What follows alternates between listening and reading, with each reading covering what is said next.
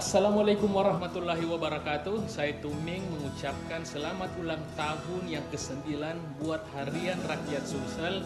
Semoga menjadi media yang selalu terdepan. Pokoknya eh, yang jadi andalan anak-anak untuk update berita. Pokoknya sukses kita terus. Salam Renets